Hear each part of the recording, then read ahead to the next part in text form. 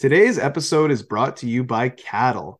Every product launch faces a chicken and egg problem. You need reviews to convert, but you need conversions to get reviews. Caddle can help. Caddle helps brands win share. They leverage their consumer panel for insights, collecting receipts, and driving product ratings and reviews. It is the largest daily active survey panel in Canada, with over 10,000 daily active users and over 100,000 monthly active users. Let Caddle be your chicken and or your egg, depending on your perspective. Visit getcaddle.com to learn more. Now that we're looking at feeding 10 billion uh, in just a few more years, we just cannot continue to grow food the way we've been used to.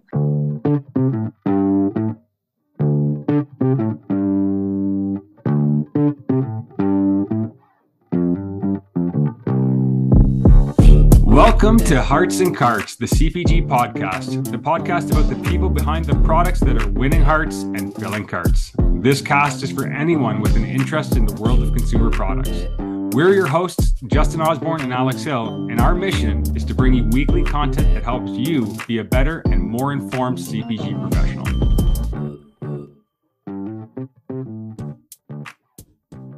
Hello, everyone. Welcome back to another episode of Hearts and Carts. Got Justin here. I'm here with Alex. Alex, what's new in your world? Well, I'm uh I'm actually on vacation this week, um, which is nice. has been pretty sweet. I've been just fixing stuff around the house, which I think is um, you know, just further confirmation that I am a grown up now. Um, that's an adult vacation. You're staying home and fixing shit around the house. I, I, was hoping, I was hoping I might get a visit from uh, from you while you were in Ontario, but uh, but I guess I guess I shouldn't be holding my breath. I don't know. Yeah, yeah, I, I wouldn't.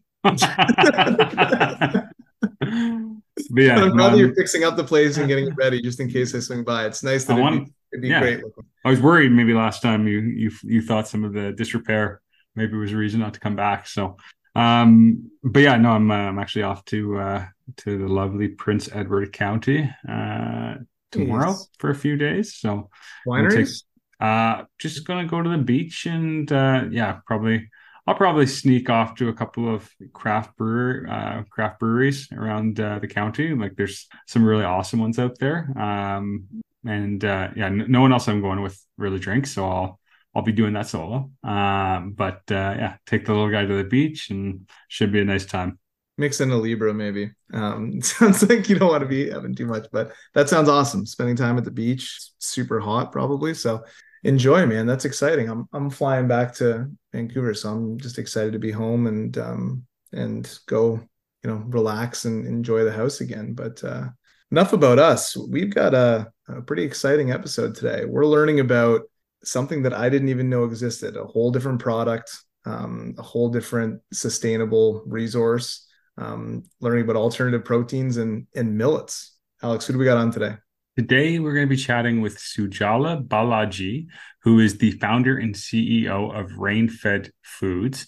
Uh, Sujala is a trained food scientist and um, has uh, a lot of experience in, in R&D prior to this. And Justin and I actually met Sujala for the first time at CHFA West, and we're lucky enough to, to get the chance to test RainFed there. And this product is one of the best dairy alternatives I've ever tasted. Um, and you know, to Justin's point, you know, millet, uh, millet is not a. I think I'd heard the word before, but I didn't know anything about it as a as a food source. Uh, it's popular in other parts of the world, and uh, Sujal is going to tell us a whole bunch about it. So uh, really excited to to have that discussion and share it with you. And uh, if you aren't already, follow us on our various social media platforms, and let's jump into this uh, this conversation.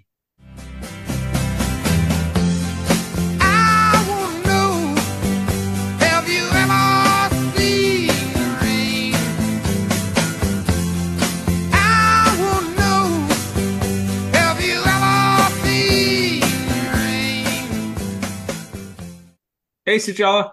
Hey. Good, good. How are you? Nice to meet you, Justin and Alex. Yeah. Doing good, doing good. How are you doing? Much better than I was Monday. Was it supposed? Was it, were we supposed to talk? No, Friday. I can't remember. Yeah, I think Today it was Friday. Well, that's a sign. Yeah. That's a sign it's been crazy. Right. Yeah. Glad to hear it's going better. Yes. So yeah, thanks for uh, accommodating my last minute request the other day. course. Um, yeah, it was uh, unexpected and uh, just didn't feel like I would would have been in the right headspace to be fully present. And um, yeah, today's a much better day. How are Got you it. doing? Doing good. Doing doing good. I, I get it. Podcasting is a bit of a vibe. You don't want to. You don't want to be like forcing a podcast. That's that's you know it's it's something you want to kind of ease into when you're when you're feeling relaxed. So yeah, but doing good over here. Uh, trying to avoid the smoke uh, as best I can. Uh, are you you're in the GTA too, right? I am, but right now I'm in um, uh, I'm in Berkeley, California. Oh, very nice. Yes. Yeah. Nice. Uh, but I heard that I, I left yesterday. I got here last night. So Yeah. I was surprised to hear that there was smoke today because the same thing happened the last time I came here. So you're, di- It was- you're you're questioning if it's actually happening, if we're just making it up. or, or she's the cause. Who knows? Like, right? Like, it seems to be. shot the shot the jet engines a little too Yeah. hard on the way out. While, while you're funny. in while you're in Berkeley, uh, maybe you've already done this, but check out Berkeley Bowl. It's my favorite grocery store in the world. Yes, Love I've it. I've been there once, but Yeah. uh, didn't have a lot of time at that time, so I I should probably go back again. Yeah, I've Nice. gushed about this. I mean, it's Mm. maybe only people in our industry would understand. When I tell my wife about this, Mhm. she's like, "I don't care." But yeah, Mhm. it's it is a beautiful grocery. Like the produce section is enormous. It's so Yes. nice. I would love to Yes. shop at a store like that. It's it's, it's Yeah. quite something. Based on the Nice. name, is there only one of them? There's two of them, I think. Two, there's Yeah, two. yeah. Yeah. Yeah. And I don't know if you've been to Good Earth, which I find is like a very addictive grocery store as well. Yes. Uh, I mean, I'm a huge grocery store fan, nerd, whatever. Everywhere I go, it's on the top of my uh, top of my list to check out. So I absolutely love Good Earth as well. Yeah, you're you're in like the hotbed too, right? Like you're in like the Mhm. place with like some of the best grocery stores ever, like San Francisco, Oakland, Berkeley, like that whole area is just filled with incredible grocery stores. Yeah, That's where we always do like our US market tours. Oh, nice, Yeah, nice, Yeah. nice. quite nice. Well, And uh, you're based in uh, BC? I am, yeah, I'm on Vancouver Okay. Island. So yeah, I'm on Vancouver Got it. Island, a town called Sooke, sort of on the west side of Vancouver Island. Okay, nice. I'm just ab- I'm just above you, I guess. I'm just north of you right now. Got it, Good weather, yeah. Good weather. Got it. But um got it. Yeah, we we uh had met before, but it was quickly, and it was probably Mhm. a blur for you because you had thousands of visitors, which was at CHFA West. We CHFA came, we came- West. we came by the the booth, and Alex and I were were just talking about it. At that show, we tried. I don't even how what would you get like hundred products, maybe like a lot, a lot of food. We tried a lot of different food, uh, a lot of great stuff, but yours stood out to us as one of the best products in the entire show. And I'm not just saying that because you're a guest but truly like we were we were blown away. And we even said like with all the different food there pizza and things like that like for a non-dairy milk to be like one of the biggest takeaways shows how freaking amazing the the milk really is. So um we loved it and couldn't wait to talk to you more about it. And i'd never heard of millets before. And so the whole thing was really really cool to me Thank you. That uh, means a lot. Um, and I, I, I, I, I am going to believe you when you say that uh, you're not saying it just because I'm a guest right now. Yeah, yeah. But yes, thank you. Means a lot. yeah we we have talked about it many times we're like yeah i couldn't believe how alex and i both wrote down like a list of our favorite products and that was right at the top and someone recommended we swing by your booth It was too. Phil Chang. I was was going to say we gotta, Phil Chang. give Phil Phil Chang. Phil uh, Phil from uh, this Commerce Life a quick shout out because he was Got it. he was the one who who saw this this product and and and recognized its its uh, quality first and sent us over. But yeah, I, I think you know aside from being a great product, it's really unique too. Which uh, Yeah. you know I, I've like you- to your point, Justin, I've never heard of anything like it, which is uh, I think stand out and has great great product qualities and and you know nutritional macros and everything else. So Yeah.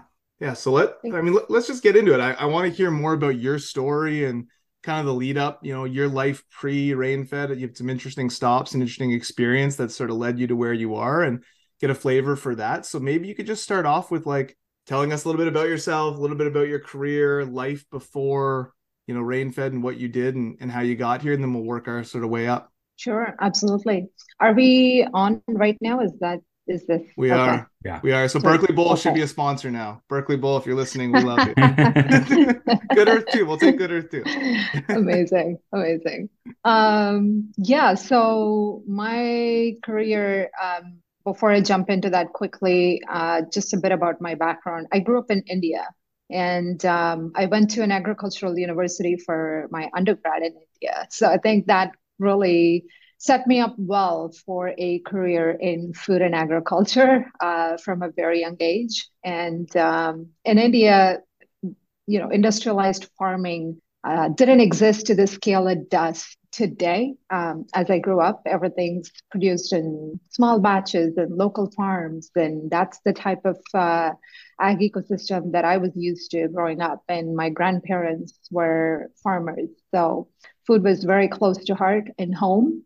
And uh, led me to pursue an undergraduate degree in uh, food engineering, and uh, and then I moved to Canada to go to grad school, which was at uh, University of Manitoba. And uh, my master's research was focused on cereal grains, um, Hmm. funded I'm, I'm, by I'm the seeing, I'm seeing the pattern. yeah, I'm you see the pattern now. Yeah, Yeah, yeah. exactly. Funded by uh, Canadian Grain Commission. Uh, so that uh, really helped me dig into the um, types of crops we grow here and introduced me to the extent of uh, industrialized agriculture. Not to blame industrialized agriculture because it, it did help us, you know, feed the growing population for the last few decades. And uh, it was good for a certain period of time when the population was expanding rapidly. But now that we're looking at feeding 10 billion uh, in just a few more years, we just cannot continue to grow food the way we've been used to. Um, so, as I was doing my master's, uh, I came to realize how monocropping is a big deal here, and uh, really, you know, four crops that we grow wheat, soy, corn uh, ha- contribute to over 70% of all calories in the food system here, which was shocking. Yeah. And uh, but it took me a while before before I jumped on the entrepreneurial journey. Um, after grad school, I worked at a functional food startup. Uh, that was the first startup that was making flax oil at scale, and I was an early employee there. Uh, had the pleasure of uh, watching a manufacturing facility being built from scratch and uh, producing the first bottle of flax oil that is shelf stable that can be sold on the in in the uh, stores at the same category as other edible oils instead of being sold in a fridge in a natural store. So uh, that really, I think, uh, helped me understand how functional foods uh, and nutraceuticals can really play a key role in, in our health and diets. But after that, I had to go work for a large dairy company to learn some life lessons. Yeah. Um, I I moved from Manitoba to Ontario for personal reasons and uh, started working for um, a big dairy company, which I'm sure every Canadian uh, knows because the, the the the brand is a staple in homes. And uh, I my role was in technical project management, so. Uh, that means that uh, I got to work with teams of uh, different departments, from R&D to operations to purchasing to supply chain to QA, uh, as a technical expert for uh, manufacturing and scaling products, whether it's new products or uh, trying new ingredients in different products uh, in the in the processed cheese category in particular, which is like a you know a hodgepodge of a mix of lots of ingredients. Uh, and but it, it, it is a very uh, high volume product. So it was one of the core products of the business. And uh, i spent a lot of time um, in uh, in that category which at that time I, I guess i didn't understand the value of uh, what that would do to to uh, creating products at rainfed but uh, somewhere somewhere along the line just didn't feel like uh, that's the career I wanted to pursue for the rest of my life. And uh, understanding how uh, how are food systems being impacted um, through whether it's you know unethical sourcing or um, ingredients that are uh, not necessarily sustainable and uh, mm. manufacturing technologies that are very dated and uh, just not scalable.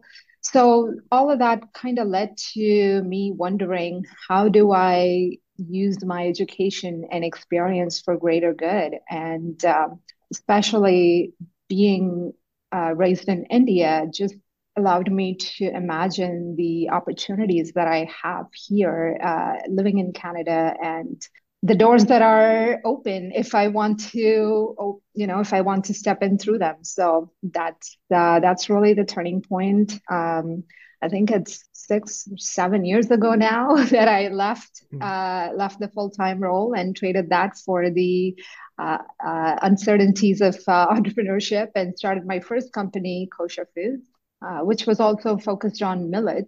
But hmm. um, uh, that's kind of where I wanted to work with farmers in India directly with smallholder farmers in India to to provide them a stable source of income uh, by eliminating middlemen that uh, they usually get taken advantage of by and uh, promoting a very sustainable sourcing model and creating snacks, uh, especially gluten-free snacks, because uh, most of the gluten-free snacks are just loaded with ingredients like starches and fillers and mm-hmm. not uh, not necessarily nutrient dense. So I wanted to address that category and create really nutritious gluten-free snacks using millets. And uh, I did that for a few years.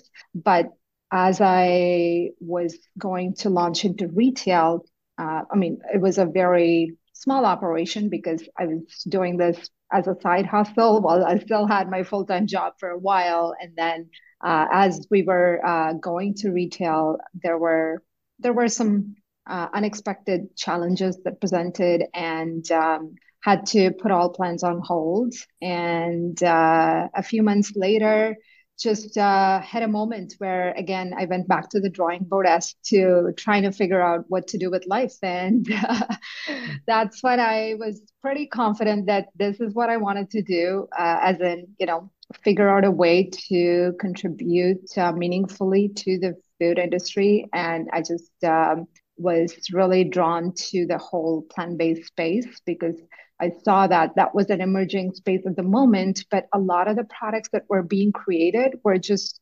created not necessarily with innovation in mind, not necessarily mm. with the, the, right ingredients in hmm. mind, mm. but just as an alternative. For example, you know, there were uh, different. Um, uh, different varieties of soy burgers that were coming out, or different types of um, um, products that didn't necessarily have a unique point of differentiation.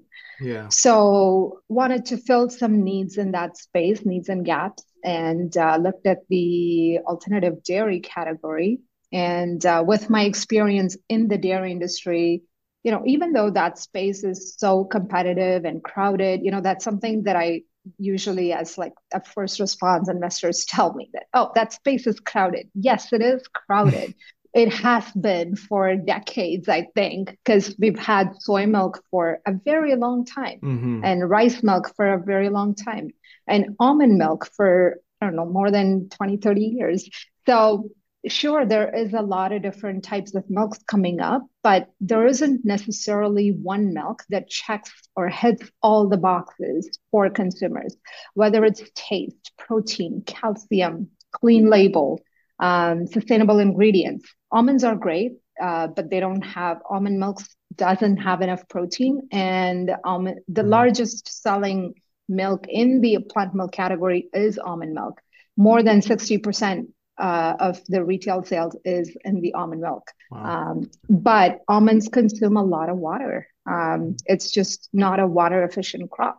So on that regard, there's just a lot of things that we're missing in every single milk that you would find. And uh, I took it upon as a challenge in creating the perfect milk where people don't feel like they have to compromise on when they switch from dairy. So that's how Rainfed Milk was formed.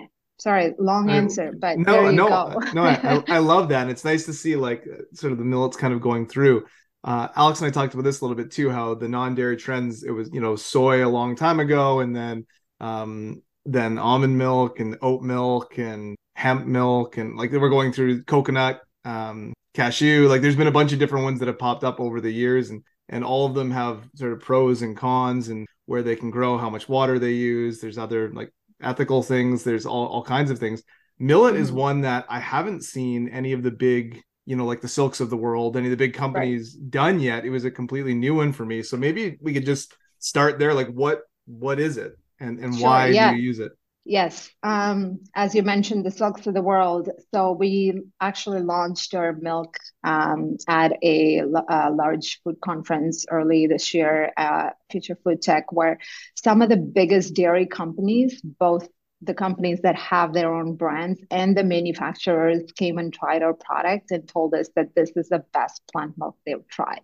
So that yeah, it, it that was, yeah, yeah. Thank you. That was a really good compliment. So why millets are um, you don't necessarily see millet even as an ingredient in a lot of the food product um, is uh, is perplexing to be honest. But I grew up in India eating millets. Uh, in India, uh, or India is one of the largest millet producing countries in the world.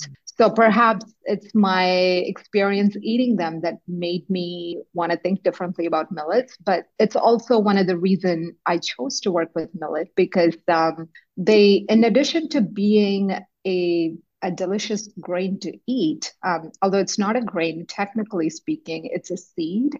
It's a pseudo hmm. cereal. Mm. Um, millets are a very sustainable crop to grow. It does not need a lot of water. It, it a little bit of rain is all it takes, which is where our name comes from uh, rain fed because millets are rain fed crops. Yeah. And uh, it has a very short crop cycle. It can grow in 45 to 60 days tops. Wow. And there is more than one variety of millet. So every variety actually looks different, tastes different, hmm. and has a different nutritional profile. So you're not necessarily eating the same thing every single day and uh, getting bored by it if you're consuming it as a cereal as a side. Um, in india it's usually eaten as a substitute for rice. Um, hmm. it, wow. it it makes excellent porridge millet flour. You can use it to bake. You can use it to make pancakes waffles um, however you want. Uh, it's naturally gluten-free and uh, it's a low glycemic uh, crop meaning uh, it doesn't necessarily spike your blood sugar when you consume millets, and actually, it does the opposite. So it regulates blood glucose levels. So mm-hmm. there have been studies coming out recently that show that one can actually clinically uh, regulate diabetes just through consumption of millets. Wow. Yeah. Crazy. I, I yeah. you know it's funny like uh, before trying your product, I hadn't mm-hmm. really heard much. I, I, think I'd heard the term millet, but I, I, knew nothing about it. And in preparing to chat today, I was doing research, and one that struck me is uh, Agriculture Canada. If you Google millet crops, like Google serves you this Canada.ca statement about millet, and it is basically millet. Millet is an ancient grain and superfood, and a resilient and sustainable crop, nutritionally dense and versatile many uses. Like it, it just it's like the most it's the most glowing like, review. glowing review right from like the government source. Wow and we're amazing. not even eating this thing. Like, exactly. Yeah, that must yeah. be somewhat new i think because uh, or maybe i haven't googled millets in a long time. I should look it up. Um, that's that's great. Also so the un uh, fao has declared 2023 as the international year of millets. Nice. so we're going to see a huge push coming from uh, government uh, initiatives through uh, through the FAO in the next few years. Um, I mean, I usually tell people, you know, hashtag millet is a new quinoa because uh, millet is where quinoa was at a few years ago. Yeah, and um, and um, uh, the UN has declared an international year of quinoa in uh, I want to say 2008 or 2013, one or the two, because one year was um, quinoa, one was Pulse. So those initiatives really do a good job, although slow. So it takes a few years for it to like you know trickle down into different countries and then uh, popularize these uh, crops uh, in different formats. But uh, FAO has recognized the importance of growing millets globally and consuming these crops because they are a superfood and such a uh, crop, uh, such a uh, and it, it's a regenerative crop too. So it, it's it's grown naturally organic. It doesn't need any inputs, whether it's pesticides, fertilizers. Um, so farmers can actually make more money because uh, they're, they're not investing in inputs while growing these crops. So it's just a great crop for um, uh, farmers, for consumers, and the planet. Um, so we're uh, we're going to see millets take a take a bigger role in the next few years. We do grow some millets in Canada, but it is primarily used as an ingredient in uh, birds feed. Uh, because millet is a, millet is a seed. if you mm, have birds yeah. at home, then if you look at uh, your uh, uh, food ingredient for the birds, you'll see millet as a top ingredient there. Birds are getting millet, and I'm still eating rice like a chump. um, yeah, the the the parallel. It's interesting, yeah, because I thought about when you were talking about that um, consuming it. I was thinking, yeah, like my I eat too much, so I've gone from rice to quinoa to try and bump that up, but still have the same type of meals and texture and that type of thing. And this is like the next leap, right? Like the next evolution of that is an even healthier version, which is which is really really cool. And one of the reasons that a lot of people go dairy free, vegan, plant based, whatever we want to call it, is the impact to the planet. Like that's usually mm-hmm. one of the, the leading reasons that they do it. And a lot of times they're not aware that maybe the substitute that they're consuming is actually just as bad or worse for the planet, depending mm-hmm. on what it mm-hmm. is and where it comes from and how much water it takes, etc. So this sounds like a much more sustainable version that would tick that box for people. Absolutely, absolutely. And like I said, so I mean, a key thing that I talk about when I'm talking to people about um, whether millets or just food in general is uh, diversity. Um, we can't just consume the same thing uh, over and over again because we're going to miss key micro and macronutrients. So, not only is diversity important in our diets and plates, but also for the soil because uh, without hmm. biodiversity, we're going to I mean, we've, we've already lost, I think, 60% of biodiversity compared to only 50 years ago. So that's not a very long time. So it's important that we protect uh, at least what we are left with. And uh, if we do not grow diverse crops, we're going to lose topsoil. I mean, one of the impacts of monocropping is the loss of topsoil, topsoil erosion. And um, uh, and, and, the best way to tackle that is uh, regenerative agriculture and uh, planting or rotating crops through different uh, growth cycles and growth periods. Um, so, and, and and it also leads to you know lots of uh, different species of plants, animals, insects that play a vital role in one way or another in in keeping our ecosystem alive. So uh, it's mm. it's it's much more than just you know adding variety to our plate. Mm-hmm. It's important that uh, we grow and consume a number of different crops um, for the benefit of both humans and the planet. Love it. Yeah, yeah. it's it is almost mind bending how complex it is, but I do love that society seems to increasing. You know, like everything, there's you know people on the tip of the spear like yourself who are who are driving it, but society is slowly getting its head wrapped around all these concepts. And you know regenerative farming you started maybe to hear about five six seven years ago. And now it's like almost you know most of us have heard not that we all understand it super well but heard that term now. And it's just it's good to see it continuing and you know products like this coming coming to the fore uh that that really really push us forward. Now i'm i'm curious like so you you go from um you know kosha and, and you make this decision you you want to basically marry your your you know knowledge of grains and and um and your experience in dairy and bring it together for this awesome product in rainfed and and like what's you know what was the approach like in terms of you know what was step one and and how you know how did you set about making uh rainfed into something real? Step one was getting through the pandemic I was gonna say you founded at a great time. because um, yeah, we founded the company in 2020, November. Oh no. Per- Perfect time, right?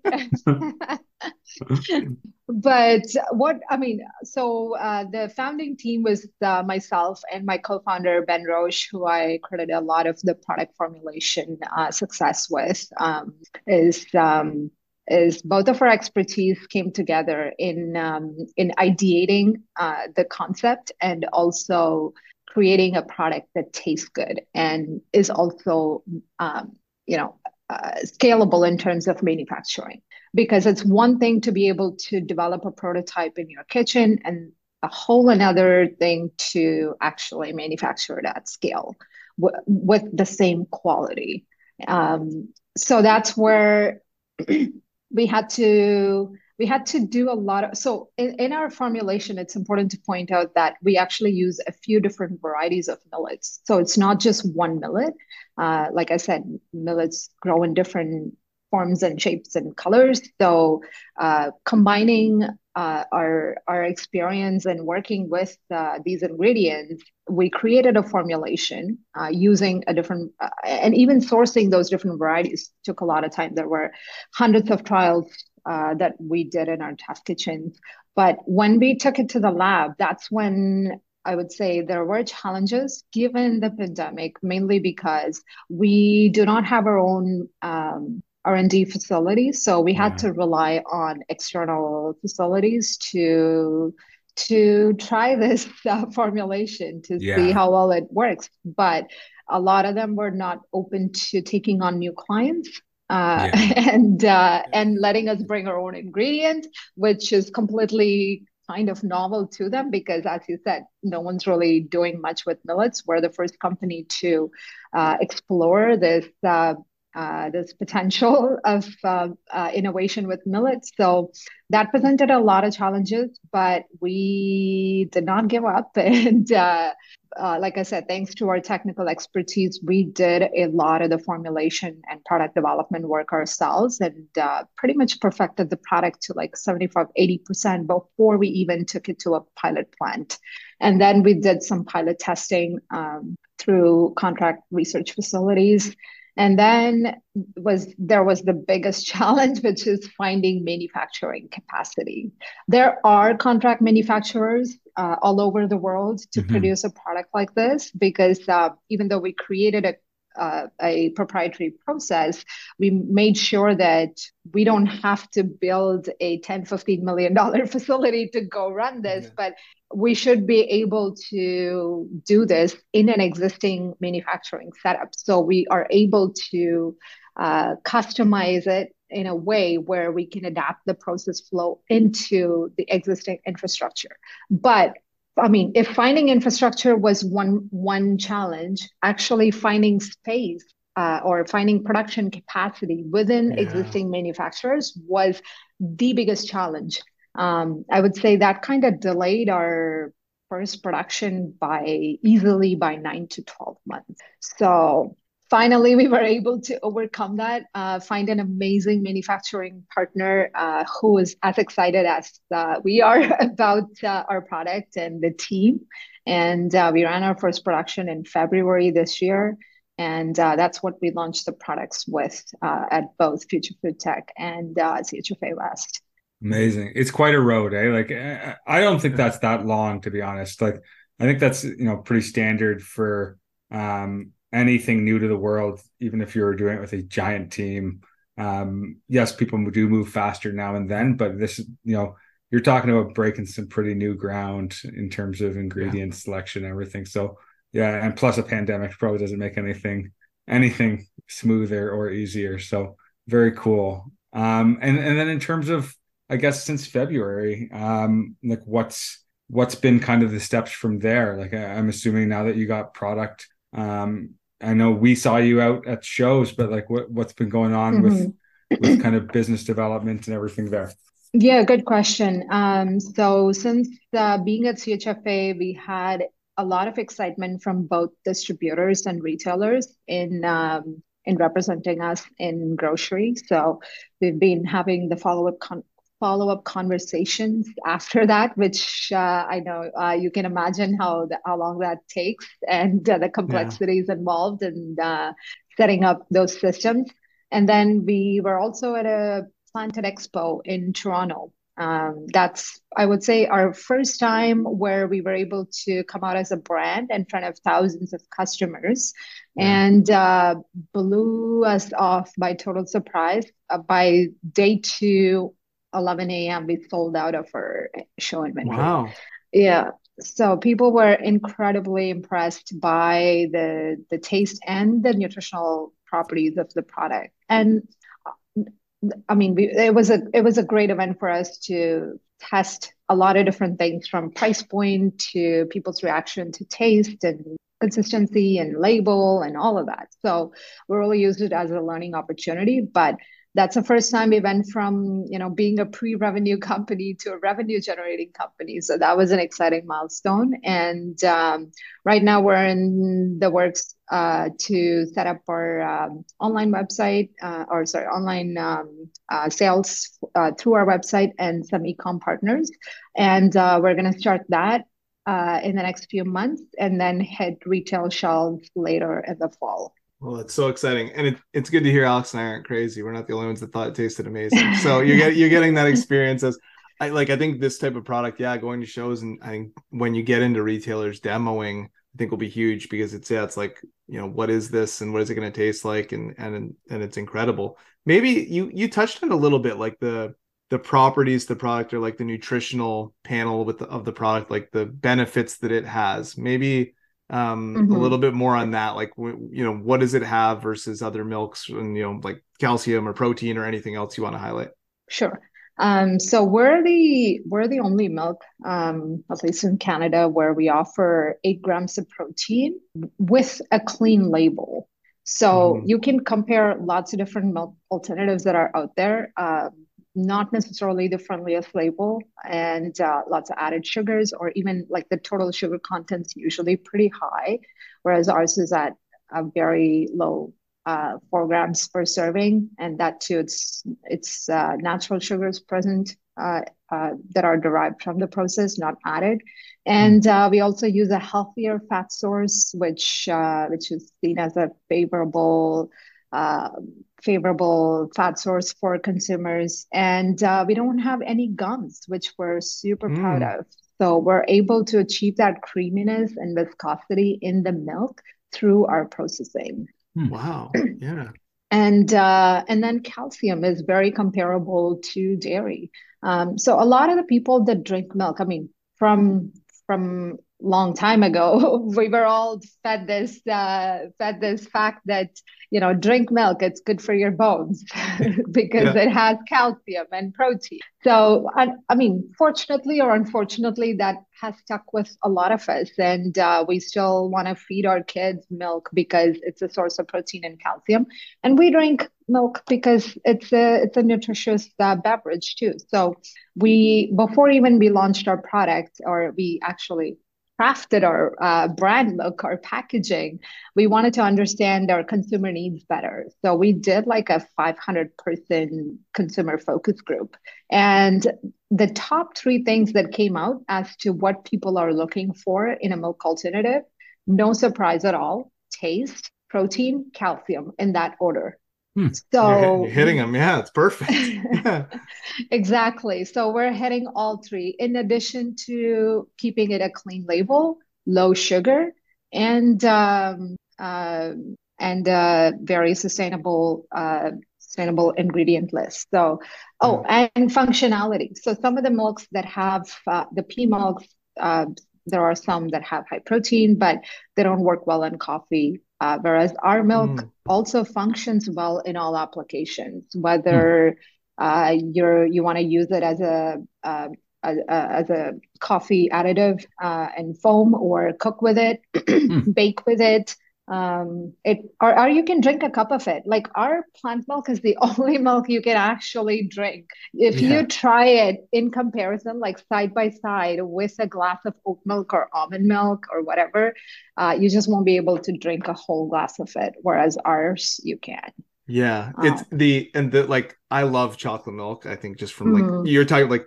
we always joke about like big milk in the '90s. Like every celebrity in the world was doing a milk commercial.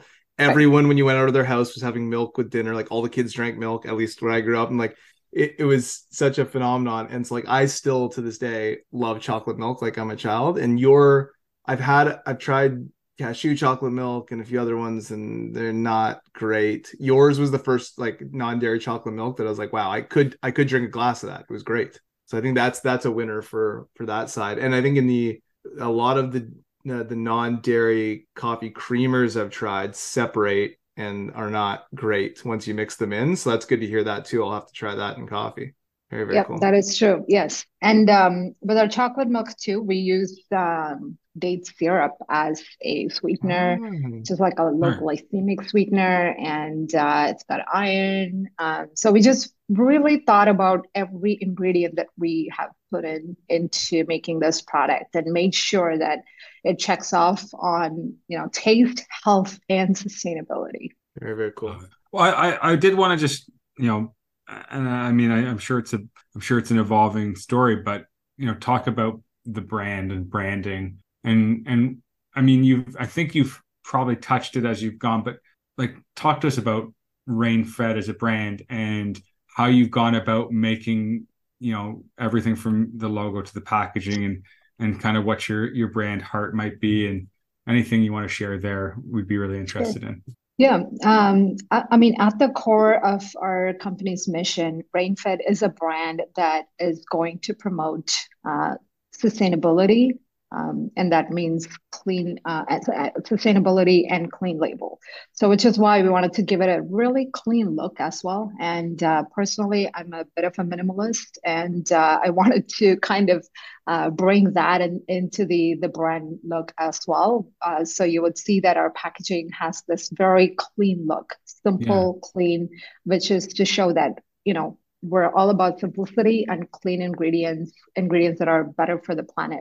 And as I mentioned, the name rainfed comes from millets being rainfed crops. So uh, if you look on the side panel, we talk about how uh, millets are rainfed crops and it's regenerative and uh, it's a woman-led company and uh, so we have we have that communicated in very simple language as well and um, uh, although we're starting with millets, our goal is to expand in future uh, with different crops that are rain fed as well. Um, mm. There is uh, there is at least a handful of uh, uh, crops that are really underexplored at the moment um, in terms of uh, their application or their ability to shape the future of food. So, as a as a food scientist who's really driven and um, uh, passionate about the sustainability uh, space. So that's kind of uh, core to my heart, and uh, as a founder, that's that's my vision for the company. Love that. Love that. Yeah. Then the name the name translates well. If yeah, you could. It, it's not millet specific. It could be right. other crops. So I think that's that's great. It is it is nice clean packaging. Um, I like a lot. So I mean, you talked a little bit about product expansion. You talked about your online store, some other websites, some retailers. Like, what else? What's next for the brand? What's exciting for- stuff is coming yeah, up? Yeah, so I forgot the other exciting thing that we're working yeah. on, uh, which is a which is an ingredient for other businesses. Oh, so, uh, I mean, the rain-fed milk is our um, is our uh, consumer consumer brand, but uh, we're working on creating a uh, our first ingredient, which is a millet concentrate hmm. which can be formulated into other ingredients, uh, whether it's the protein mixes, protein shakes, other beverages like smoothies or baked goods. So this can an infant nutrition products, for example, mm. um, baby uh, not baby food but toddler food, hmm. um, mm. and some of those products where nutrition is key. So we can provide them this powdered version of an ingredient that can enhance the nutritional value of those uh, uh, products in those categories.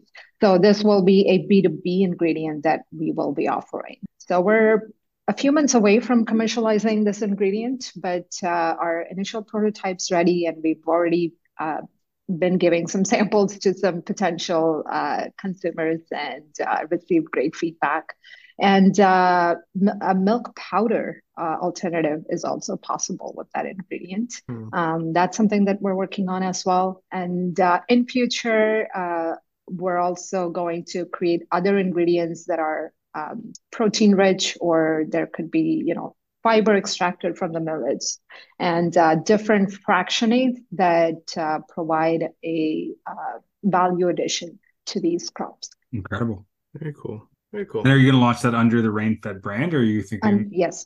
Yeah, yeah. I, uh, I mean, I, I also think the milk, like, just you know, just talking off the cuff here, like, if it was at Starbucks, I'd mm-hmm. put it in my Starbucks. So, Starbucks, if you're listening, yes, probably get on this.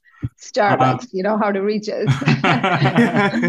we are we are speaking to a few uh, cafes and some uh, health food uh, uh, food service chains in the GTA to awesome. To put uh, rain-fed milk in their menus at Love the moment. It. Makes perfect sense. Um, so, Sujala, th- there's a question mm-hmm. we ask all our guests, uh, and it's it's you know for you uh, as a you know consumer and as a consumer products professional. Um, is there a, you know what's your brand crush? Is there a brand out there? Maybe you you use it and love the product, or maybe you just love what they're doing um, from a positioning standpoint, maybe from a sustainability standpoint, that you you maybe just want to give some recognition to and, and a bit of a shout out for? Nice. Um, does it have to be CPG? It does not. We've had everything okay. from we've had everything from motorcycles to shoes to oh, amazing, everything in between. well, uh, one brand that I kind of found online recently, it's a yoga mat. Okay. Um, I, uh, uh, I mean, I, have been doing yoga for quite some time, but I hate the smell of the yoga mats. they, yeah, the, there's the, a the certain smell. Yeah, the resin. Like, I mean, I'm sure everyone agrees that yoga mats have a certain smell, and especially when you're doing hot yoga, and uh, it yeah. uh, it can be very off-putting. But anyway, so I wanted to see if there are any like uh, yoga mats that are made sustainably online, and came into this brand called Scoria. It's spelled as S C O R I A, Scoria. So these are cork mats and made in a very environmentally responsible way. And not only that, I also found out that uh, this is actually founded by a woman and she's based in Toronto or the uh-huh. Toronto GTA. Cool. And uh, not only that, but uh, they give a part of it back to this um, uh, organization that supports indigenous youth with education or kids with education. So super cool mission uh, in addition to creating uh, these mats that are so sustainable and they don't smell and they look great that they have really uh, fun designs that are you know that don't necessarily distract you but helps you more grounded like i have one that has like moon in like different uh, hmm. different um, um, shapes uh, not shapes sorry like a uh, different uh, uh, times of mm. uh, yeah. times yeah. of the, yeah. the I know what you're trying to say. I don't yeah. know what the cycle. Yeah, yeah, yeah. right. Um, so the, I looked up uh, their online presence, like really blown away by how well their social media is and uh, the things that they're promoting. And then I ordered it online, and uh, and then when it arrived, the whole experience of unwrapping it and all the little tags that came with it that told you about how this was made and what it gives back to and things like that. Everything was done with such great attention to detail so much so that I kind of stalked the founder online and, and sent her a nice message. And uh, it, I mean, very few brands inspire me to like reach out to the founder and actually like you know say yeah. uh, say things like that. So uh, that's something that I was blown away by recently. I, I, love, that. I can see Alex is looking at it right now. I can already yeah. see. I, have already chosen which one I think I'm going to buy. I, I was just going to say, yeah, my my my wife, my life partner, loves yoga, mm-hmm. and my co-host nice. Partner Alex also loves yoga. So I think nice. I just got Chris Christmas gifts for both of them. Thank you. Uh, there you go. There you I go. think it's I think it's pretty genius actually. Like I like because yeah. when I I used to actually do um, like energy exchange at a studio for mm-hmm. a, a, good couple of years, and uh, I remember that the because I used to clean them. The floors I think were made of cork. Um, so it's totally a natural like yeah. it's a perfect fit. Exactly. Nice. Very cool. That. That's a great. That's a great one. Um, so last last question here for you. Um, you've you started a company before a pandemic. You've navigated through that. We're now in a bit of a recession. You're navigating through that. You're ramping things up. So you've survived some big hurdles. Um, for anyone else that's starting out in CPG, maybe founding a company, you know, yourself five years ago, like looking back, what advice would you give to somebody that was starting out now? Mm. I mean, where do I begin? I feel like this could be a whole another podcast. um, one thing I would say I've been pretty grateful for is uh, is the core network that I've been fortunate to build around me. And uh, these are people, you know, some people I've never met before. I've you know, especially through the pandemic. Sometimes I haven't met them in, you know, in person for the first time in like three years or so. But uh, people that I've only met online um, who have been hugely supportive. And some have been through just virtual conferences or cold DMs on LinkedIn. And, uh, you know, those uh, awkward uh, Zoom, Zoom networking events and things like that. So uh, just build build your network early it doesn't matter you know what you might end up doing a few years from now, but it's finding people who are genuinely eager to support you or eager to share their expertise or uh, who understand your mission and want to be a part of it. There is all kinds of people that can support you, whatever journey you're on. So I think uh, really building those connections, and I mean, sure, they take time, but um, your your net worth is your net worth i think is uh, is a very uh, underestimated uh, statement i love that, I love that. Yeah. nothing gets done alone that's for sure right mm-hmm, mm-hmm. Yeah. yeah. perfect yeah, and that's a great one and it that, can be yeah, a lonely are, journey right exactly so, exactly i was yeah i was just gonna say those could be like you know but founders to advisors to consultants to industry experts to investors to whoever it is like there is yeah there's just no limit to uh, you know any specific category of people. It's just you know somebody has uh, sorry everyone has something to offer. And uh, same same goes for uh, everyone too. Like i mean i have something to offer to somebody. So if someone reaches out um, you know as long as it is reasonable and I know that I can add value and I have time, I will take that meeting or I'll take that calls and do what I can to support that person. So it goes both ways. Yeah. Yeah, you got to pass it on, right? Now that now exactly. that you've gone through the journey and, and met people, yeah. I think we're in a, we're in a good space for that. I think CHFA West is like a good sign of that. Like the people walking around and yeah. the number of conversations we had, Alex, with people, and everyone seems very supportive. And we use the example of Phil Phil Chang, who told us to go check out your booth, and that's how we discovered you. Right, so people are very supportive and in that space, and usually willing to help you out. And we've talked about it on the show, and and pick up the phone and spend time with you and give you the time, which is which is really awesome. Um, so I think a lot of times you just have to reach out to them and try. And yep. your point, put yourself in uncomfortable situations right. like those networking events, and yeah, um, it pays off. Exactly. Exactly. well yeah, well, I, I, really appreciate the time. Thank you. So so great chatting awesome. with you. Fascinating conversation, like learning more. I'm going to be doing a bunch of millet research now.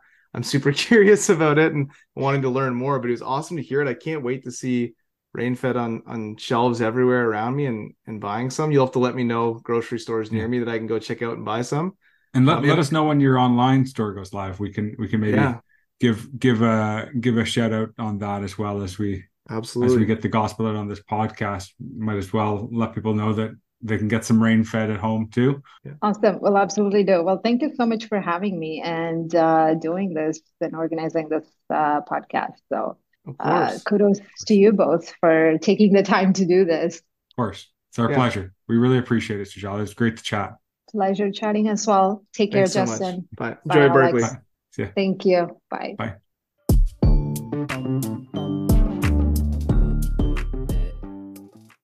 Well, that was great. I uh, I think that's an amazing product, and uh, I think the world needs you know more founders like that who are thinking about kind of the holistic the holistic you know situation around the product upfront, everything from nutrition to um, to sustainability and and uh, you know everything in between. I, I think it's it's really cool, and you know I'm excited to see where that product goes and where millet goes in general because like I said in there, like I, I, was kind of blown away just to see like Agriculture Canada just giving a a full yeah you know a, a full uh, a full like glow up to millet right on Google. So yeah, I, I am excited for that. So anyhow, Justin, what were some of your key takeaways? Yeah, I, first thing I want to say is we are not kidding. The milk is amazing. Try it if it's at your store. Trust me, it's going to blow you away. And we're not sponsored or anything. Just telling you, it's it's great. It's great. You really got to try it.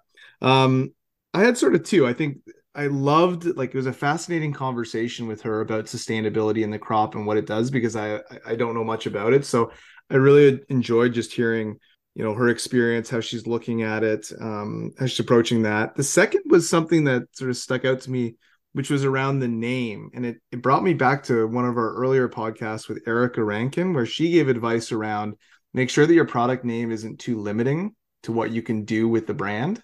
Um, she talked about Brodo maybe being a bit too limiting versus a, a broader name. So in this example, Rainfed, I think is, is perfect because, uh, you know, already Sujal is looking at different avenues that are rain fed crops and different products that it can create. So the umbrella underneath that it's not a millet based name. It's rain fed which can lend itself to to different products which i think is is really smart and, and set up for success. What about you alex? I think for me um, one of the takeaways and i really liked it as as i think sujala was talking and I, I thought you know for her it showed a good strategic mind was her ability to create really effective priorities at different levels. So on one level she she you know she used real primary research to come up with the priorities for her product which were you know mm-hmm. taste protein and calcium and and and, built a great product. And, and, as justin said you know like it's an amazing product and and it really hits all of the boxes that consumers are looking for very effectively. But that doesn't mean that rainfed is a, a taste protein calcium company.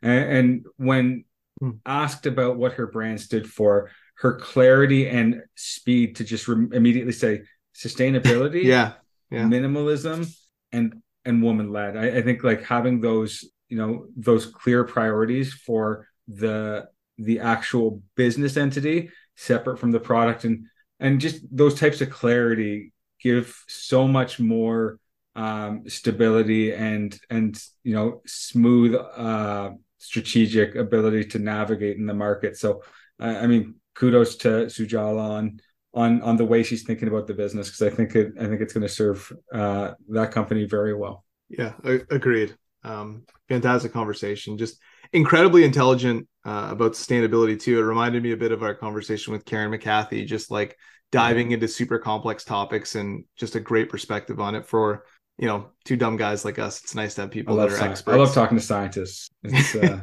makes me it's, it's, it's it always makes me feel stupid, but it's it's so cool.